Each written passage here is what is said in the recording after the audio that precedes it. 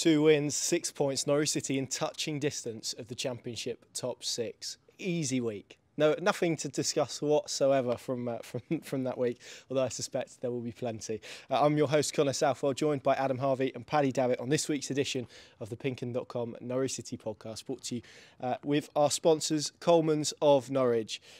What a week, Paddy, for Norwich City.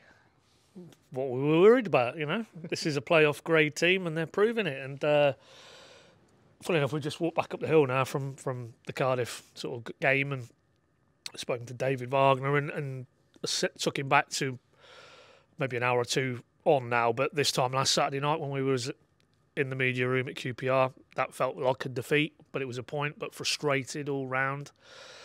And his answer was kind of, well, if we now back it up with the next two home games and, and get maximum points, then that'll look like a good point. And it does look like a good point. And eight goals into the bargain, eight goals scored, and and so many positive strands within that, as you would expect when you've put two teams away by those margins. That uh, it's it's all there for them now. Yes, we'll get into the, the weeds of it, and like a John Rowe scenario, that that's that's a blow for what's to come now. But but he underlined it again today, and we'll get into that in due course. But you keep Josh Sargent fit, you've got a chance, and where they are now compared to pertinently because it was the Cardiff away game in mid-November, um, where I think he was on the precipice. David Wagner, Adam Idah, that very late salvo in a game they were looking like they were going to get beaten, and to to move it on to this game and and how much better they looked than Cardiff, and you know underlining again this week,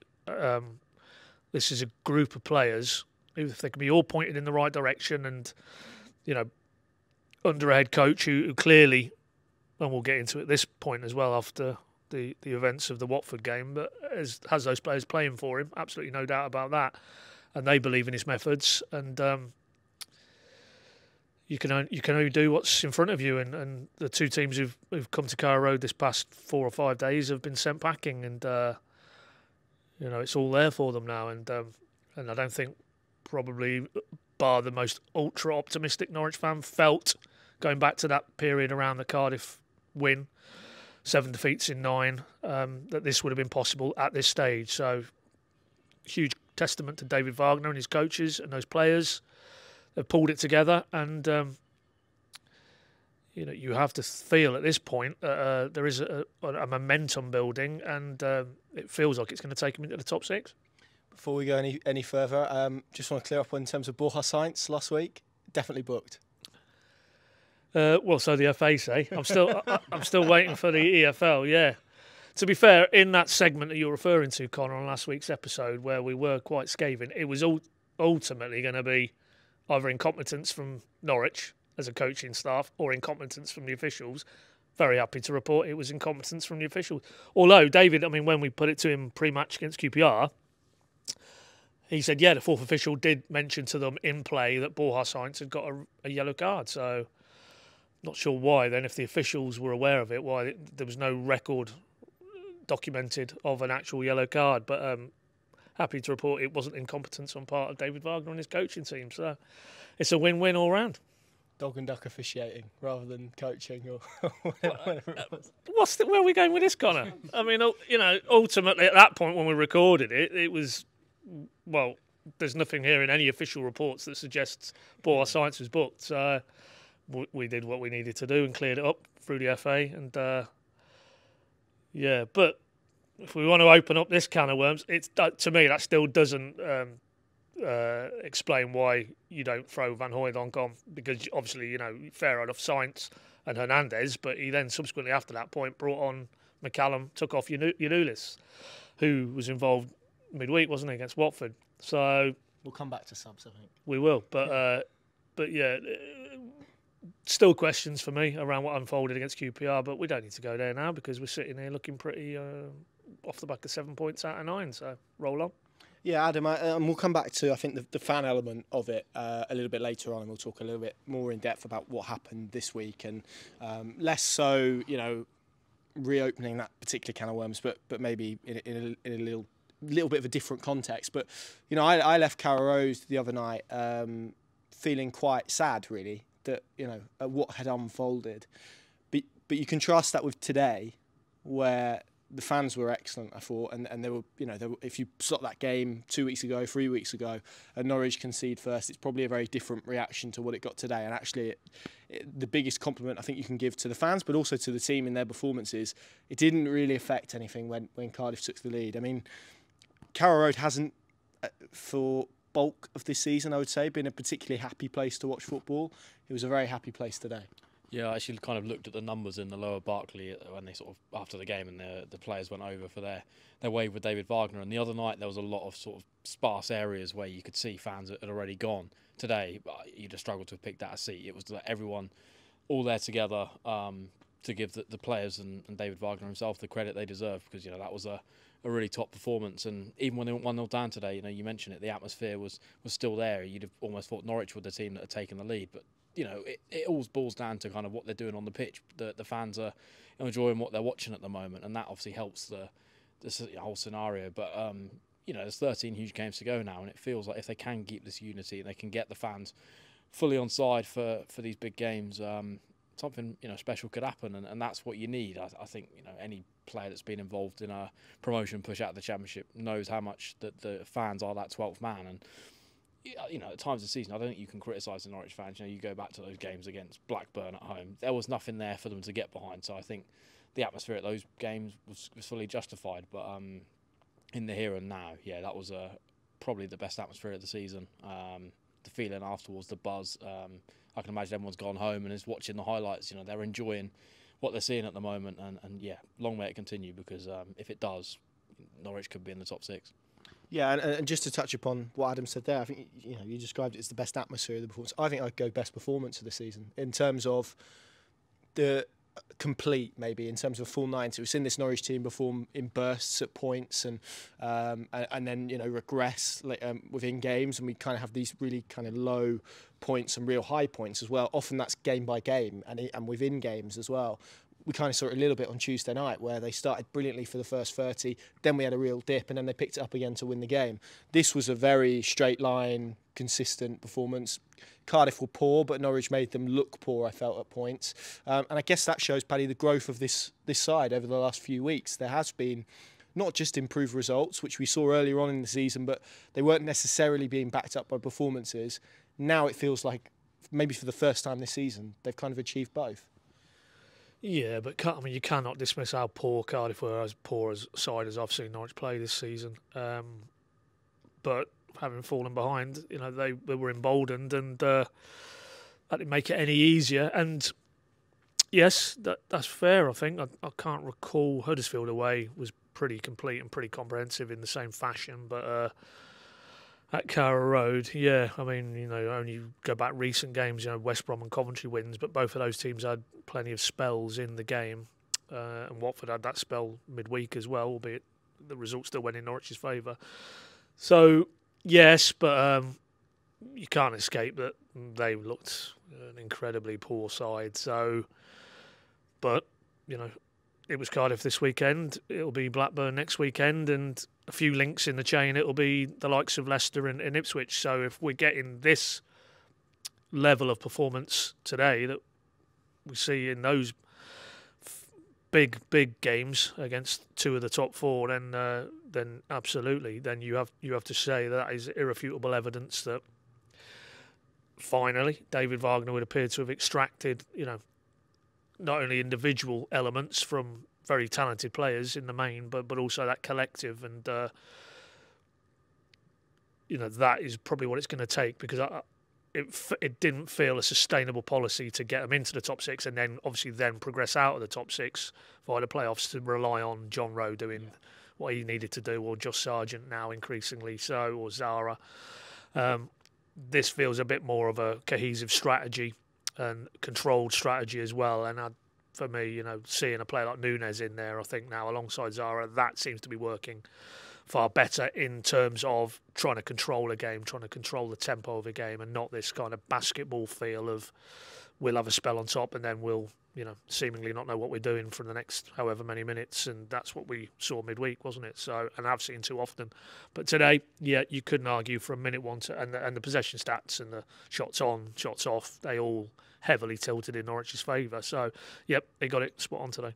Yeah, and I, I thought just to add to that, Adam. I mean, it seems like there's been a real improvement in terms of their off the ball work of late. The, the counter press work that they, they did today was, was excellent. There's, feels like there's more energy about them as, as a side, but but also kind of in possession there was much more of a balance about them today. I mean Marcelino Nunez I, I felt was kind of the standout from that midfield area, but you know they got real joy out of both flanks because of their their, their fullbacks mainly. Sam McCallum in an attacking sense was was excellent first half. Jack Stacey who who is in a real purple patch I think at the moment, three assists um, in, in in as many games.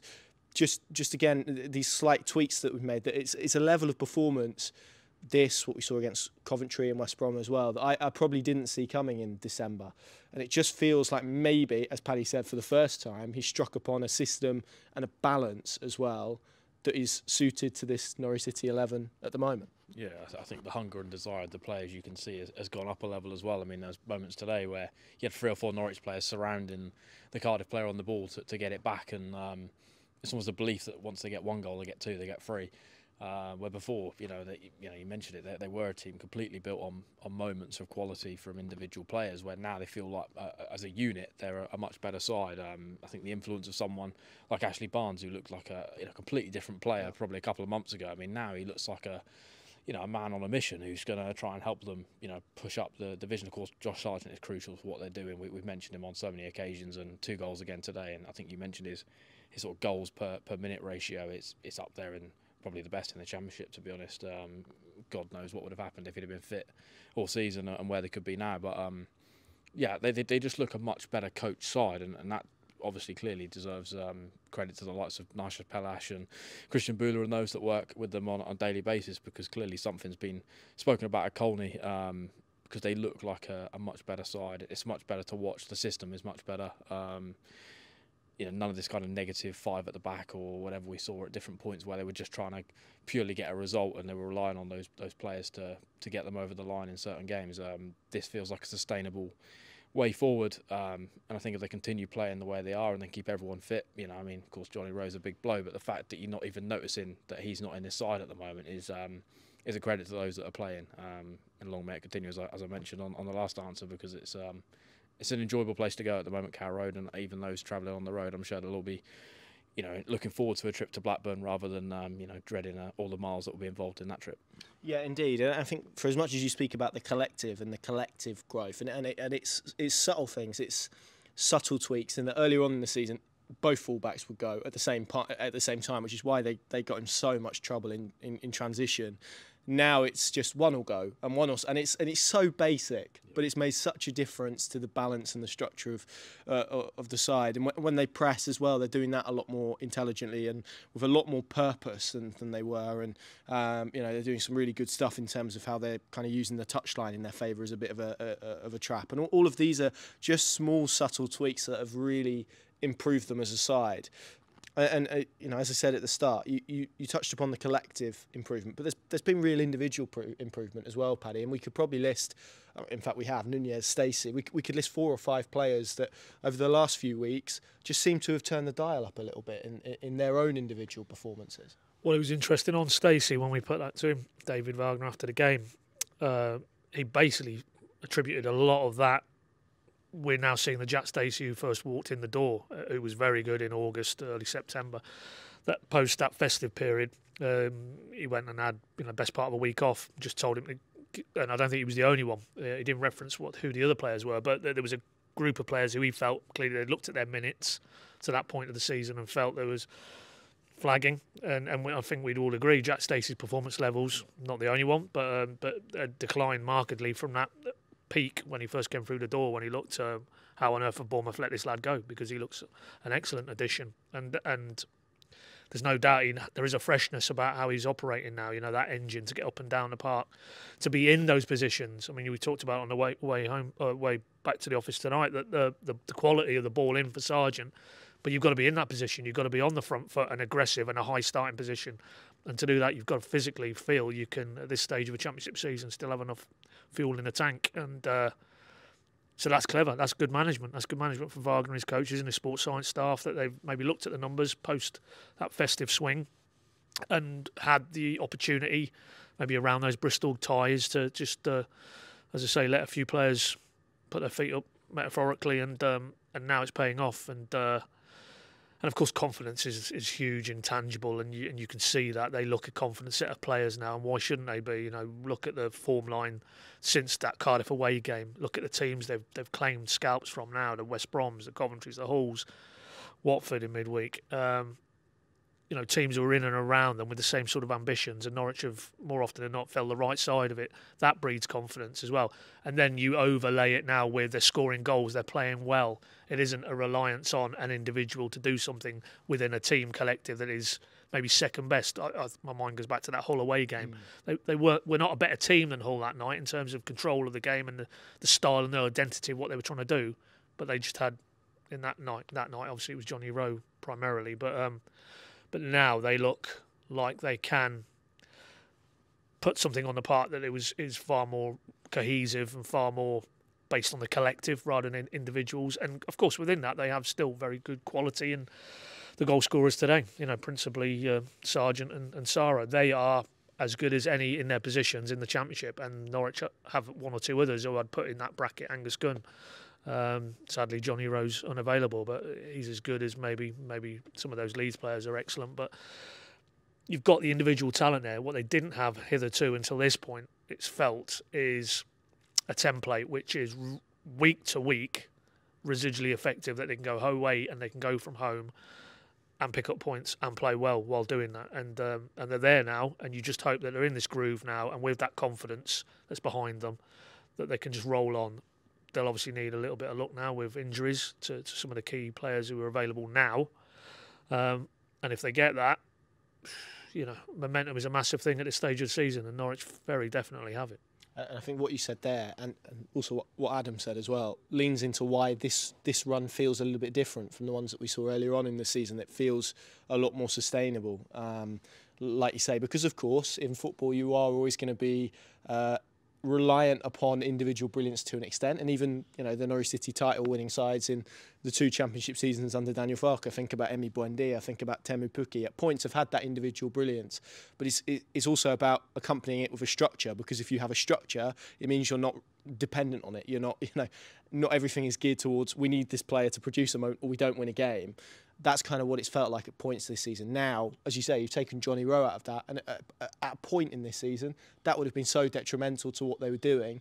At the moment, it's it, it hasn't really thrown them off course. Whether obviously it catches up with them as, as, as time goes, we'll see. But um, if you can achieve a consistency in terms of structure and in terms of process, then you can add individual brilliance to that rather than being reliant upon it. And I think that's that's the difference. And, and actually, I mean, you, you look at some of the goals they scored today the, the, the third goal that Josh Sargent put away, excellent team move. Um, you know, and, and Gabriel Sara's free kick is, is probably an, uh, although it was deflected, was a bit of uh, individual individual quality. The fourth goal as well, even though that's come obviously from a from a turnover, the, the the way that Fassnacht's brought that down, and then the way they've combined the, the, quality from Van Hooijdonk, who, you know, as a striker at a new club, I think you could have forgiven him if he'd have tried to add a shot at that game and, and open his tally, but was patient, found uh, the moment, I guess, to turn what was a good chance into a great chance to to score that goal. I mean, the, the, their decision making and the quality that they're showing in all in all thirds really, but particularly that that final third seems to have really kind of slipped up a gear in recent weeks. Yeah, I think the quality as well off the bench. You know, you mentioned kind of the the initial structure, but I mean Christian Fassnacht, that's two goals now in, in the last two games. Oh, are, we, are we giving him the Watford one? Well, I mean, based on the fact that I think it's been registered as his goal, this you know, I've got to give it to him. But are we trusting the EFL though? I you know. EFL, yeah, but I think that that impact. I mean, McCallum with yeah. the assist for or helping up in the assist for the, the, the winner against Coventry, and those impact players off the bench. I mean, you, you mentioned the the Farke title winning season. Mario Vrancic was a bit like that, where he just came off the bench and you knew he could do something. But um, yeah, it, the quality all over in terms of um, the build-up play for goals and the sort of goals they're scoring. That you know, the different types of goals. They're not all the same. Um, and yeah, that finish from Fassnacht was was superb. And, and Josh Sargent, you know, he probably a little bit gutted he didn't get a hat trick today. You know, he had a couple of. He uh, so so I spoke to him after. We'll come on to him in a, in a minute or two. He described his performance today as sloppy. Like you know, I think that's probably probably a good good you know barometer for Norwich that they've got players that are feeling disappointed even though they've scored two goals because um, he knows he's you know probably the the chance the first chance he had where it was basically on a plate for him. Anywhere else but where he put it he, he's going to find the back of the net. Um, but yeah that only bodes well for, for Norwich moving forwards. But um, you know, you mentioned that the link-up play from Van Hooijdonk. I mean, that is a you know, man, as you mentioned, he could have easily had a shot, try and um, get off the mark in in, in Norwich um, Norwich colours, and the ability and the awareness to know where Fassnacht was about to make the run is um, that again is a crucial for him and his confidence as an assist as well. Um, that'll bode well for him moving forwards, and I mean, I'm hoping to see more of him between now and the end of the season. But yeah, I, th- I think the quality of, of the goals today um, and probably to fair over, over recent weeks has, has, definitely gone up and, and the consistency that they're scoring goals as well. You know, they're not just relying on one goal. It is literally now putting teams to uh, to bed early on and not having that kind of that stress, I suppose, as, as naturally as uh, as fans do, where you kind of waiting for the whistle to, to come today felt was probably as comfortable as I've felt all season, you know, throughout the whole 90 really. Even when they were 1 0 behind, I, I, backed them to, to go and win the game quite comfortably because they looked the, the better side and um, they nailed the, the 4 1 prediction that I predicted pre match on the preview show. He's been itching to get that in. Look, he's, he's, he, he, he's now content just to go home. He's done now in terms of the podcast. So that's that's that's good. Um, Josh Sargent, Paddy, I, I, think you know it'd be remiss of us not, not to talk about him. 10 goals in, in 13 championship games. He's only completed two of those. Uh, and, and both of those were in August, I think. I think he played 90 plus against Coventry, but, but came off pretty um, pretty late on. He he's he is as you said, one of the, the best strikers in, in, in, in the division, but but also, you know, and I wrote about this in, in a column actually on uh, this morning. He is a, a, a pretty complete striker. There's not very many of those around at, at, the moment, and you see what he adds to Norwich City, and, and obviously what he, you know, and, and I think we even saw it today when he goes off the pitch they look a really different team, and, and not in a better sense, and, and, not necessarily in a worse sense, but definitely different. Um, and that's a testament, I guess, to, to his qualities. Uh, he said post match, this is really his his first season since he since he became a pro that he's he's kind of been able to play as a striker, and, and you can see that reflecting in the numbers. I mean, even with managing an injury, this is quite an incredible production that or sort of output that he's producing at, at this moment in time. It is, but but that's an important point that maybe for the first time in his career, and even this season now has been punctuated by thick end of four months with that ankle layoff.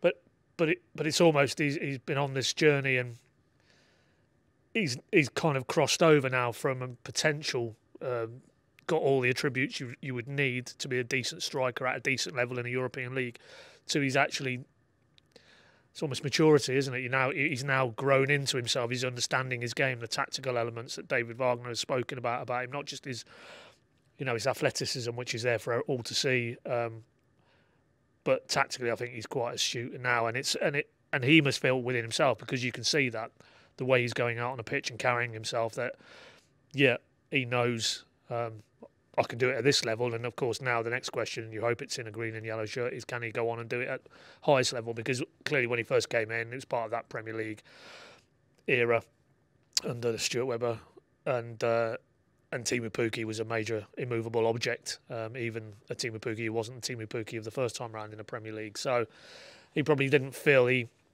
he really put his stamp on it as I am a Premier League grade striker, but he he's, he's now even in an abbreviated season, uh, I think irres- indisputably is better than this this level. And uh, and again, it goes back to the confidence point, particularly young players as well. And he is still a young man. You remember, you have to for, you forget that because maybe because he, he left America very early and went to Germany, and maybe it feels he's been around longer than he has. But you know, he he now is looking like whereas Pukki was the main man, he is now the main, main man. But in, crucially, he believes he's the main man, and it's like I will lead this, I will drive this attacking unit forward. Put the responsibility on me. I can take it. I'm going to show you that I want to be the man, and um, and his teammates would would probably concur that he is, you know, he is the figurehead in terms of what they're trying to do as an attacking unit.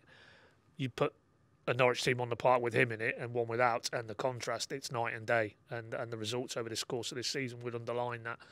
Um, but I mean, well, you know, you spoke to him again about it. The only concern you have now is, you know, he is managing this ankle-related issue, and um, you know, David spoke pre-match about from sort of almost one training week to another. They just they don't know is he going to be able to go to the well, and will he be able to go it deep into games because there's absolutely no doubt between now and what Norwich have li- lying ahead, he will need to be able to go to the well week in week out, um, ideally for 90 minutes a time. So that's a cause for concern that you know the last two weeks now he's not trained until the Friday before QPR and then before today's game as well.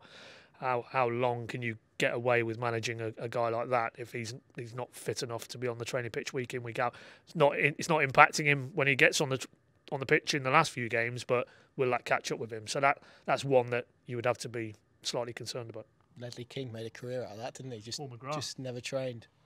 Yeah, true, true, but uh, a bit different in terms yeah. of their, where they are in their respective careers, though, isn't it? Um, but but you're right. I, sp- I spoke to him post match, and it was interesting. It was um, he, he basically said, obviously it's an ankle that he's had a major operation on, but he even said you know, I know Wagner said week to week, but he said day to day it can it can change. He can wake up one morning and uh, have kind of like a dull aching sensation. Sometimes it can be real pain, and and then he can have days like he said today where he feels absolutely fine. He doesn't feel anything, and it's just about well, a how you manage that, but also long term how you find a solution to that as well. And um, you know, hopefully they can they can do that. Whether it is as simple as rest, and obviously the fact now that Norwich are going to go for a few weeks, I think until we have that Sunderland Middlesbrough swing, but they've got a couple of weeks now where they've got four weeks between games. So you'd hope that that would that would help him and would enable him to probably take a little bit longer for that recovery and um, manage his load a little bit differently. But you're right that I think that is a concern. But on the flip side, Adam, the fact that he's producing what he's producing.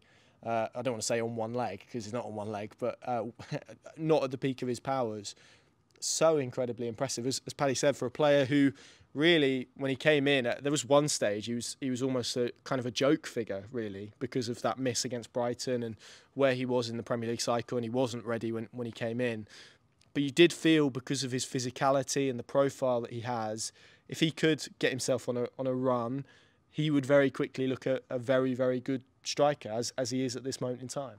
Yeah, yeah, I think the energy levels were always there, but it was kind of um, extracting the best out of him. When now he feels like the complete striker. He, there doesn't really feel like there's that many weaknesses in his game. I mean, there was a leap today. I mean, his ability to, mm. to leap um, and, and, you know head head home goals now. He doesn't you know he doesn't look like the biggest of strikers, but you know his ability from being able to get off the ground is um, probably up there in terms of the best I've seen. Uh, you know, in terms of championship strikers, definitely. Um, you know that that probably pushes him towards the Premier League grade, and um, yeah, it's all types of goals as well now with him. It's not just you know sort of that that finish in them when he gets through, you know, makes those runs in behind and he's found by someone and he, you know, he angles the ball in the corner like you expect him to do. But it is headers now. It's you know he's finding himself in pockets of space and he's been able to impact play. And the link up plays I got with Ashley Barnes is um, that looks like a really good relationship, which we saw probably to be fair at the start of the season. And then both of them obviously have had their their injury issues and they've been in and out of the team at different points. But um, I think as long as Norwich can keep those two fit and continue you know the system they're in, then um, that feels like it's going to benefit both of them because you know Barnes had a goal ruled out today, and you know I think he's starting to look like a, a threat now in terms of goals as well. So it's all boding well. And as you say, the fact that Josh Sargent is not 100% and we're still getting these levels from him um, consistently, you know, um, week in week out in the championship, and um, he, he's already pushing himself up the, the goal scoring table in the championship in terms of top goal scorers. And you know, for a man who's basically been missing for two thirds of the campaign, um, that pretty much proves where he is at the moment. Um, it's not you know kind of that like maybe last season where he got in the first half of the season where he was banging in goals left, right, and centre.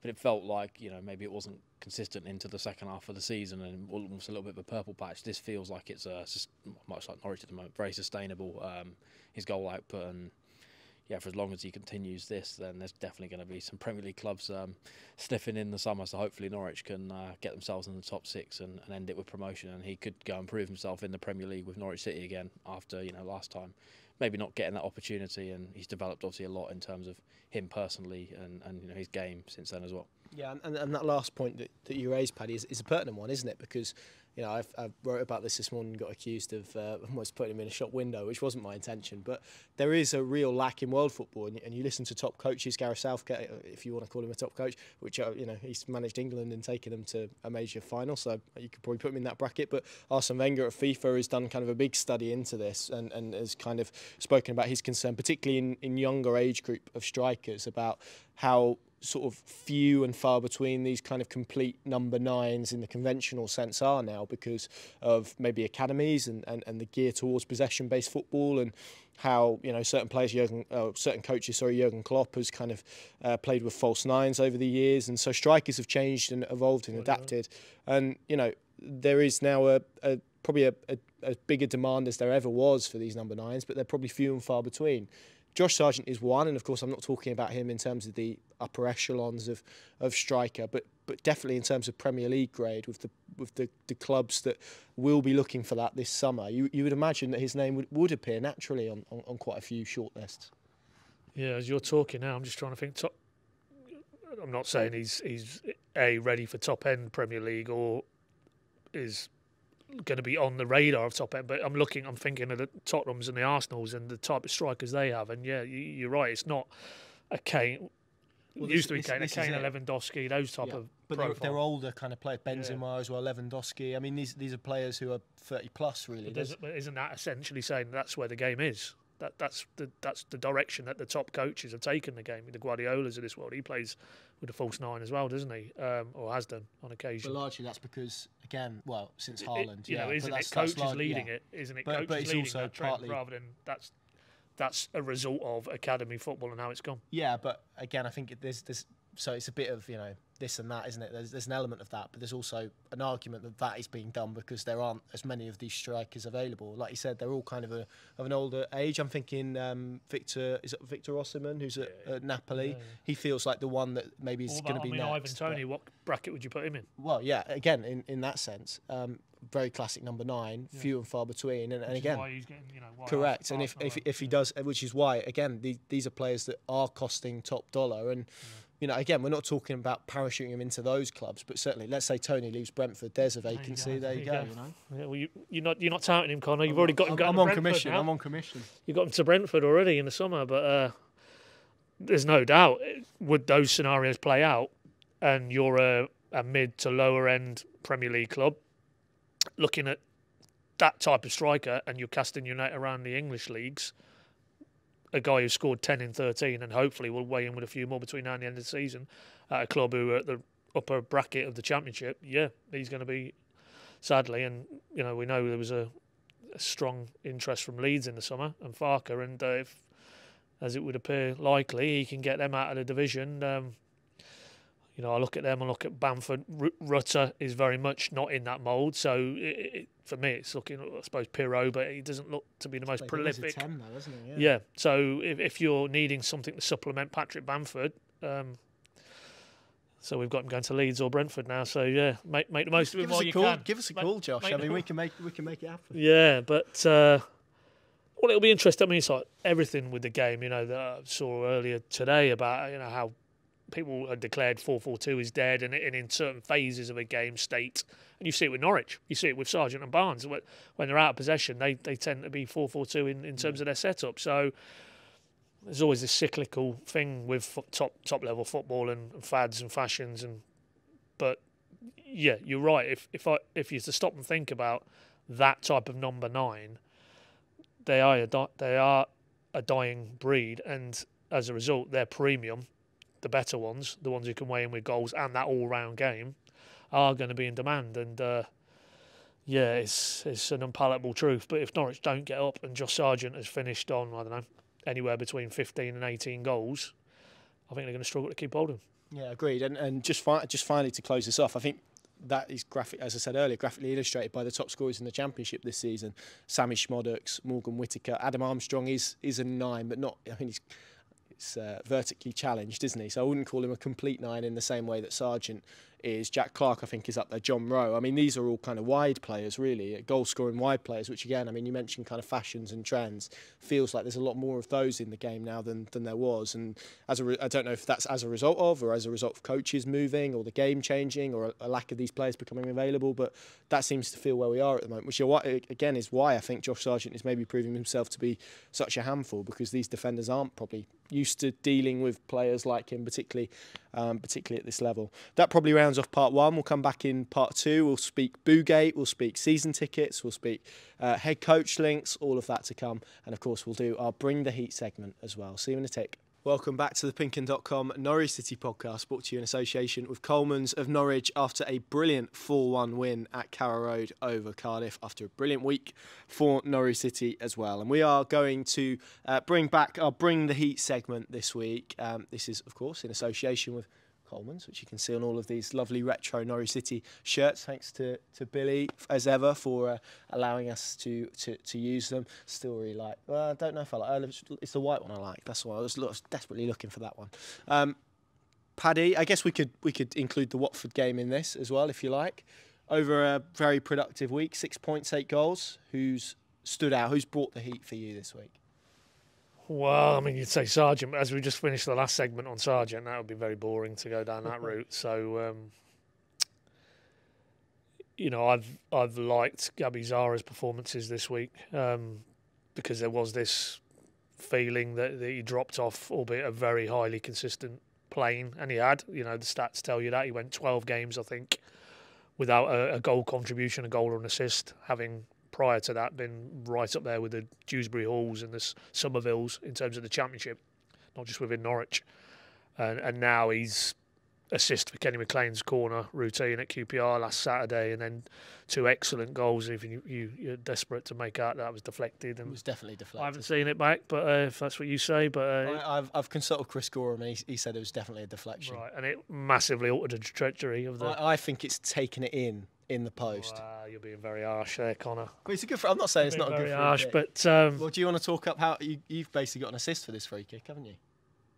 I, that, you know what? I'd forgotten about that. I did. I did. That is no word of a lie. Say before he, that free kick was taking place, I said he'll score here, and you know, deflected strike or not, the ball went in the back of the net, and then there was a lovely celebration, which has now come to light that uh, would appear uh, him and his partner uh, have some very happy news which he shared there for the first time because that was, by all accounts, the first time the players didn't know anything about that. But uh, a new arrival in the in the Sara household um, at some point. David Wagner suggested that was the case after the game. So congratulations to him and his partner. But uh, yeah, I, I, I just think you know you know he's got that quality and we could stop and probably have another podcast. What happened in that intervening period? Why, for 12 games, did a man as good as he is at this level um, just dry up a little bit? And there's probably a lot of factors there, and obviously the team's performance as well, chiefly among them. Um, maybe another one like we touched on with, Sar- uh, with sorry with Jack Stacey earlier on. Maybe a lot of miles on the clock. I think I'm right in saying he's played most. Yeah, you know that that's uh, for a guy who's only in his second season in England. Um, that could be a challenge as well, no doubt, from a physical output point of view. Uh, but yeah, this past few days, I think it's just a reminder to everybody that um, yes, we can talk about Sargent, we can talk about Rowe, but uh, if Norwich are going to get into the top six, Gabby Sara has to continue in this vein. So I'm glad to report he's brought the heat this week. I love the fact you could drop him into an 80s disco and it just looks so at home with the with the look that he's got. But he's making moustaches cool again, which is excellent. Um, Adam, who's apart from the person who overturned the heating on in this place, which is like a sauna this week, um, who uh, who brought the heat for you? I'm sort of toying between the two fullbacks, to be honest. I think um, Sam McCallum had a, an excellent game today, which probably won't be spoken about that much, but um, I think it's got to go to, to Jack Stacey. We've mentioned him a little bit already on on this podcast. If you, if you look at his performances over the last sort of two, three games, um, it feels like it's gone up a level again, and maybe to the levels we know he had in them from you know early on in the season when Norwich fans were saying, you know, they've effectively replaced Max Aarons, who you know we know the quality that, that he's got for a guy on a free from from Bournemouth, and um, yeah, I mean, some assists, some really key assists. And, you know, you mentioned the assist for the Sargent goal today, the third goal. Um, the vision and the awareness to know where he was, but also to be in a position, as Paddy mentioned as well, there on the pitch to, to you know allow him to, to create that is um, yeah, and I think his defensive work looks better as well. So I think he's the one. I, I could have gone Marcelino Nunez as well. It's difficult on a game. There's a lot of honourable mentions. Yeah, it, yeah, it feels like it's quite nice actually to have this segment, and you can you almost conflicted as to where to go. Um, but yeah, I think I'll go with Jack Stacey. Um, but Sam McCallum is the is the honourable mention. Yeah, and uh, as you said, Marcelino Nunez. I think Ashley Barnes is an is an honourable mention. Onel Hernandez probably as well for for maybe what he's produced over the last two games. For me, it's got to be David Wagner, hasn't it? I think after what happened in midweek. Um, definitely brought the heat in terms of his post-match comments around everything that happened. But today probably got the heat in that sense in terms of what the Carrow Road crowd was. It, it was very much a galvanised together, unified place, and uh, yeah, I think the players were very much appreciative of that. So uh, I'm going to go for David Wagner this week, which Paddy probably ends us on nicely. I don't want to reflect on this uh, too much because I know it's been spoken about a lot, and some people probably feel like it's it's been magnified maybe more than it should have been, particularly after what Norwich City did on Tuesday, which you know it's kind of been lost a little bit. But it was uh, a very good result in the end, even if we kind of mentioned that it was kind of three performances in one game really from from them. Um, your thoughts, reflections, feelings a few days after the event on everything that happened in terms of Tuesday. Um, because it's still difficult to wrap your head around. I think from my perspective, this has been framed in a very interesting way because obviously initially, and, and this was obviously the booing at the double substitution of Josh Sargent and, uh, and Onel Hernandez in, in midweek. Um, Sargent revealed today that it was him actually that wanted to come off and to be honest, I think it's less. I don't think they were they were booing the players. I don't think they were booing the players going off or, or coming on. Um, I think they were. It was more. It was obviously aimed at David Wagner, but I think it was more a message about the direction that he was taking with those those substitutions, taking a, a striker on. Excuse me, throwing on a, a midfielder. I've, I've wondered at points over this week if he'd have brought Van Hooijdonk on for Sargent, would that would that have happened? I, I don't think it would have. So I think it was more a reflection of maybe the direction. Obviously, you know, you, you spoke contextually about the QPR stuff earlier, about what had happened at QPR, but also maybe this kind of conservatism or conservatism that, that has kind of um, wrapped itself around him uh, in, in, in the last few weeks and months, and understandably so given the position that he's been in. But it, it did kind of expose where maybe the club has got itself into in terms of those fractured relationships. But maybe there's a sense, given what we saw today, that it could maybe be a clearing of the air almost. It, it maybe felt like that today. Yeah, no, I wrote I wrote in the week and it felt like a bloodletting, but um, you never you couldn't obviously at that point say how it was going to play out. Now we're sat here four one, very commanding performance, start to finish, total buy-in from the fan base. You know, we had Paul Chesterton, our photographer, there uh, at the the point when the team coach flies back in around the, the sort of the access road to the city stand before the game. David Wagner comes off, cheers, and um, some. I'm assuming it was a supportive rather than a wag, sort of get us to Wembley, David. Um, but just from the moment he's not even set foot out of the coach, and that support was there for him as an individual and the team. Uh, you could feel it in the warm up as well. Um, just little things, really. You know, like I mean, even like goals were being cheered from Norwich substitutes in that shooting drill they do. I don't recall that happening before, and you know, 15 minutes in and it's David Wagner's Yellow Army rippling around, and then probably crucially to go behind, there was no there was no sense of frustration bubbling to the surface as there was earlier in the week.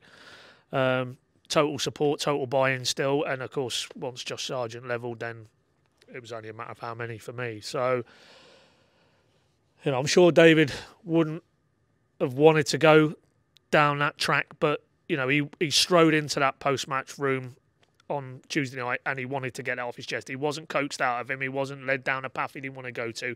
He premeditated, was ready to come out with that.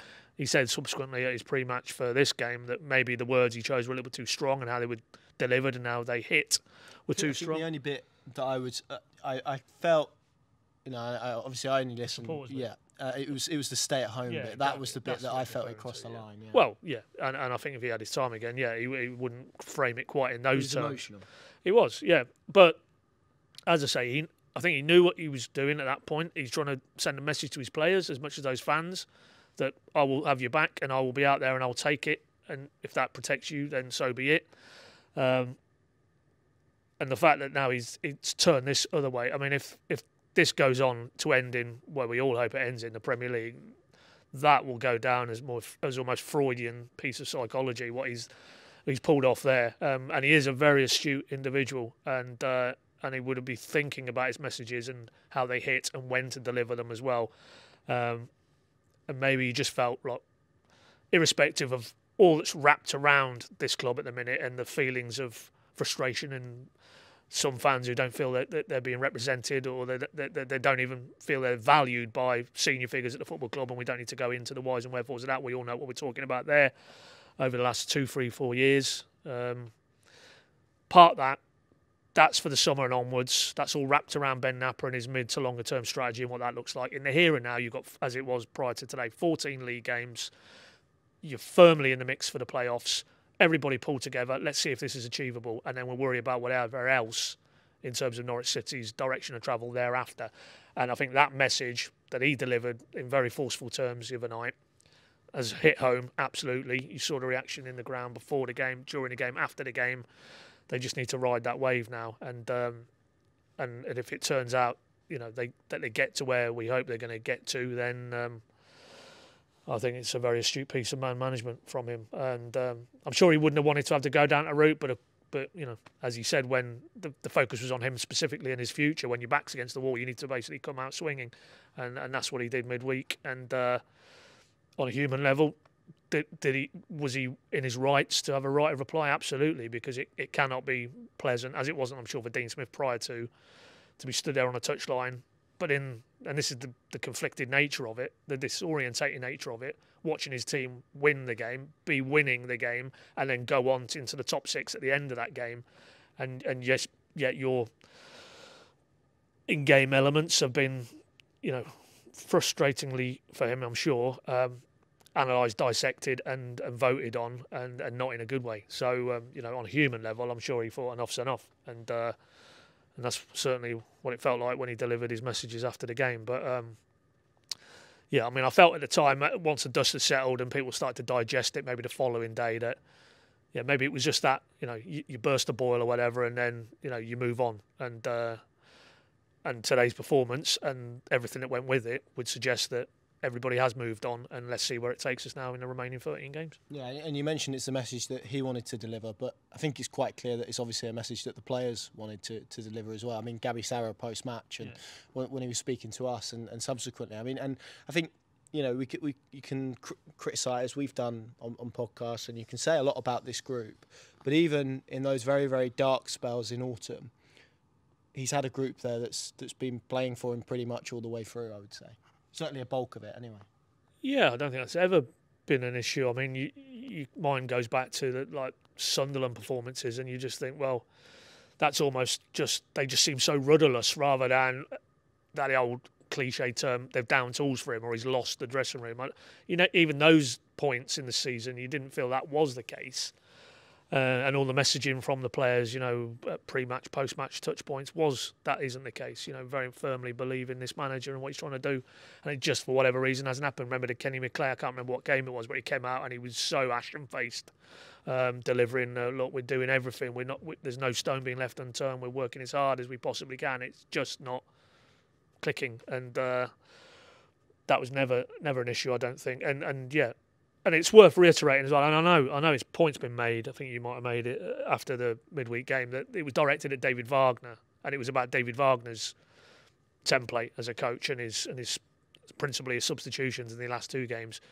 But it isn't really. You can't detach the players. The players are out on the pitch. They're feeling it. They're looking around what's going on here, and you saw that with some of the players. Some of the features of some of the players was like, we can't understand what on earth's going on.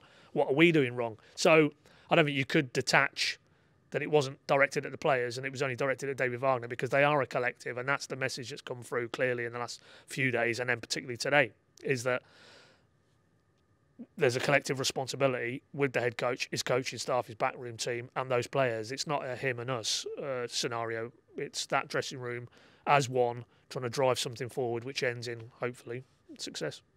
Yeah, let's hope so. Um, Adam, move, moving away from that, we, we got majorly hidden. Uh, really, it's it, obviously we had the news about the season ticket renewals. It's a uh, on average, I think about a two percent increase. Um, certainly, speaking to, to people that.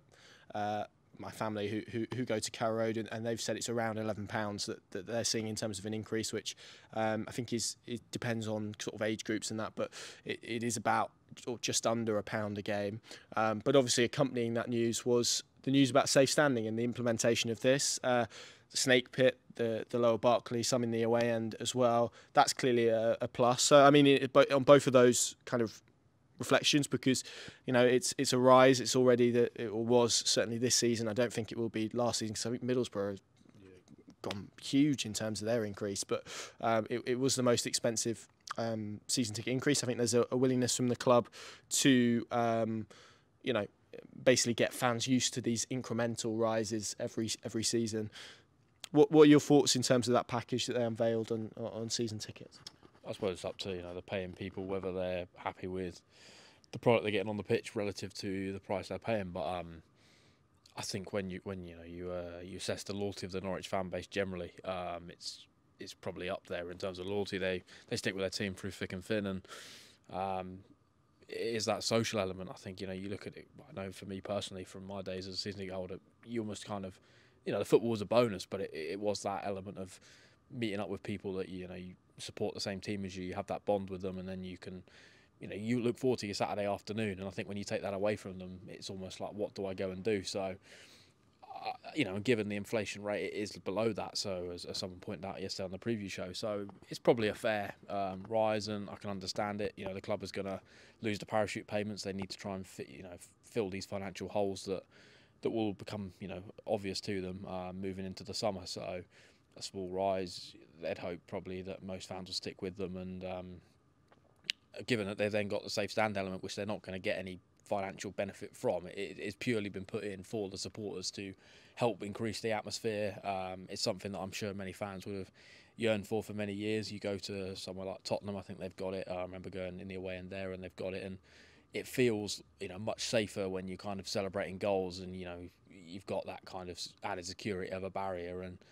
I think during games, it will hopefully, you know, if you get the group of supporters together that want to generate that atmosphere, then if they can all be together in an environment that's safe, surely that's going to be a, a huge plus for Norwich, particularly when you look at recent games. That unity and the atmosphere can really help the team on the pitch. You know, you go back to Tuesday when there was that turn in atmosphere, the players almost lost their heads. Where you know, you look at today, they're one 0 behind, the fans are fully behind them, the atmosphere's good, and you knew they were going to go and turn the game around. So that's only a plus moving forwards. Um, so yeah, I think it, it's a good good move by the club to introduce that um, and be one of the kind of leaders, I suppose, in English football in terms of bringing it in. I know there's a few clubs like Shrewsbury and uh, I think QPR and Tottenham and Celtic and a few other places that have got it, but um, certainly in this part of the world, they're, they're going to be the first club to do it. So, yeah, credit where credit's due, and um, let's see, you know, what happens next season with that in place, and um, I think the atmosphere will be good. There was a section at the start of his answer. I thought he was going to say enjoyed spending time with us, but we didn't. We didn't get to that. But it's all right. I'll let you off. Um, yeah, it's uh, and, and and to be fair as well, I think they're uh, brilliant that the that the club did today with the rainbow uh, stuff in terms of all the signage for the for the um, LGBT um, Q plus community. That was that was excellent as well. I think it's um, History Month, I think. Uh, I want to, want to get that right. So that that's a, a, a major positive as well. And, and to be fair, and we saw this with the mental health video and other kind of initiatives that they've done. They are a football club who get stuff like that right, and, and obviously you know the, the safe standing element as well is um, is very positive, and I think there's going to be plans to try and move the drama a bit more central, and sit, hopefully that obviously then can have a, a two way impact in terms of the direction of travel and atmosphere, which which obviously will be good, and the fact that we're going to see that next season I think is a, a major boost. Speaking of, of next season, Paddy, um, some reports this week about Arsenal assistant Carlos Cuesta, which is hard to say without using a, a Spanish accent, um, that appeared nationally. Um, your thoughts? I mean, it's, it's interesting. For me, there's there's lots of interesting elements to this, but for me, the most interesting is the timing element of it because. Um, you know, let's be honest. He's, he's not a new name. It's not a name that was new to us particularly. Um, you know, and obviously when, when you do the job that we do, you get told lots of stuff, and it's it's impossible, near on impossible, to to write stories or stand up all of the stuff that you you get told about. But um, it's interesting that now is the point that it's, it's surfaced. I felt after, particularly after the week that, that Norwich City have had off the pitch. Uh, why why the timing for you then, Connor? Just suspicious about it. right. Okay. Is that your general nature? I'm just a very suspicious person. Yeah. Well, I mean, who knows which uh, which uh, recess that, that emerged from that news. I mean, Arteta was asked about it and played it fairly straight back, didn't it? His presser.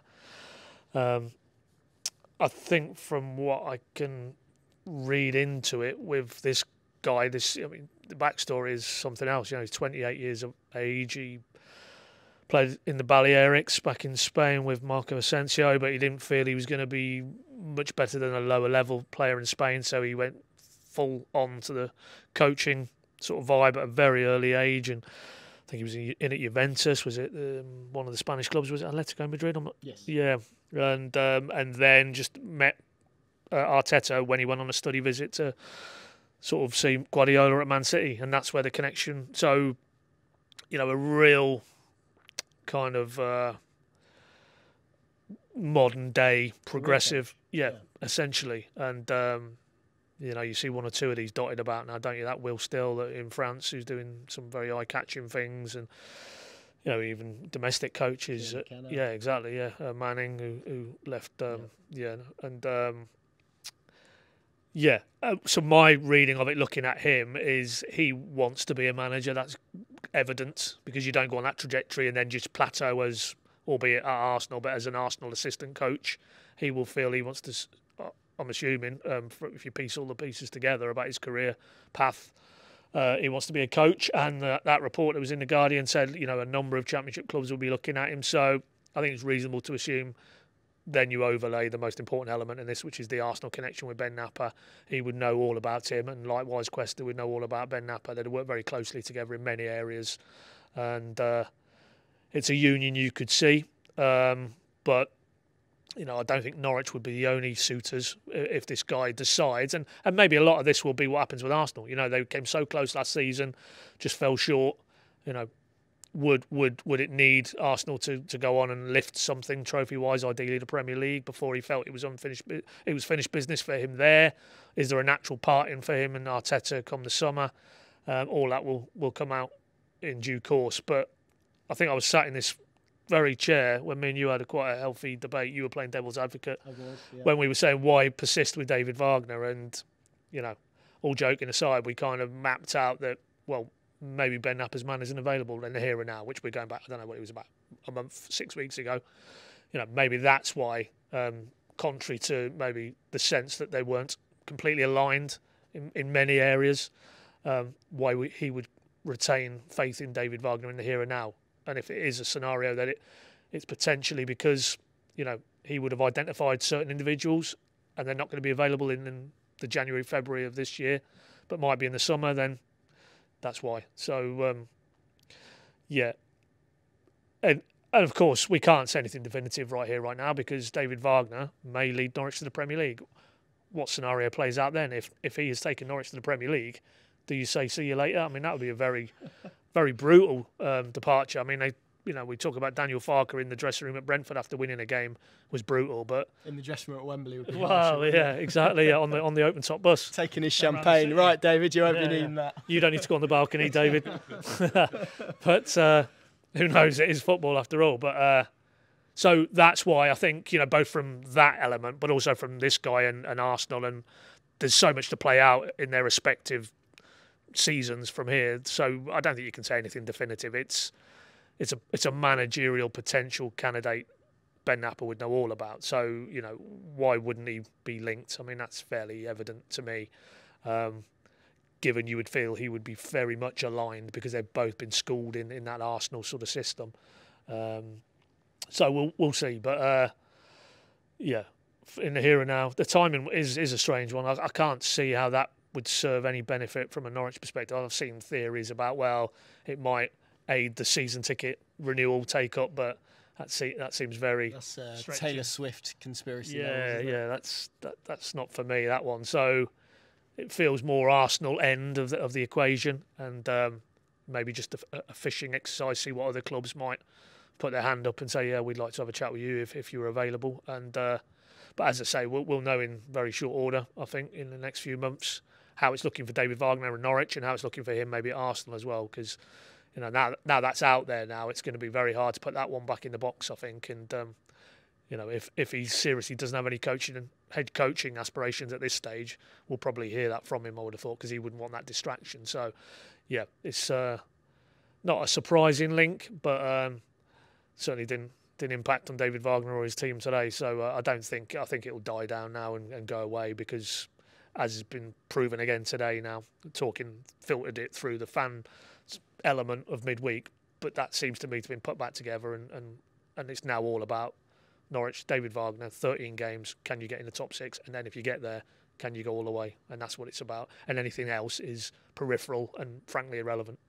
Yeah, agreed. And I mean, the only thing I would add to that is that sporting directors are here really, and, and not and they exist because they look to the long term. So they always supposedly are supposed to have short lists of coaches that they would be ready to move for in the event that uh, a head coach gets hit by a bus or whatever, or something happens, someone comes and takes them. So um, it could just be part of that process. I think it's it's worth adding that as well. Not that, that you know, we, we, we, we would say definitively either way. Um, that probably does us nicely for this week's show. Thank you, gents. Thank you all very much for watching, stroke listening. Of course, if you listen, you can watch us uh, on YouTube if you'd rather see our glorious set in its full um, glory. And if you if you if you watch, you can also listen if you uh, have had enough of our faces. Oh yeah, and we've got to mention we had a delivery as well. So I don't know who inside um, our, our HQ delivered these to our podcast studio, but uh, these are quite vintage, aren't they? I think they, they used to appear. House, yeah. You've got some in your house, yeah. yeah. So uh, there we go, and it says the Pink Un always on the ball. You can be the judge of that. Stop, stop. The, I can see the comments. Stop typing it, um, and uh, we will see you. we, we get enough. Yeah, we're too miserable. We're not miserable enough. Yeah, all of that's useful stuff. Um, we will leave it there for this week. Thank you very much for joining us. We'll see you post Blackburn next week, and hopefully we are talking again about some more Norwich City momentum. See you soon.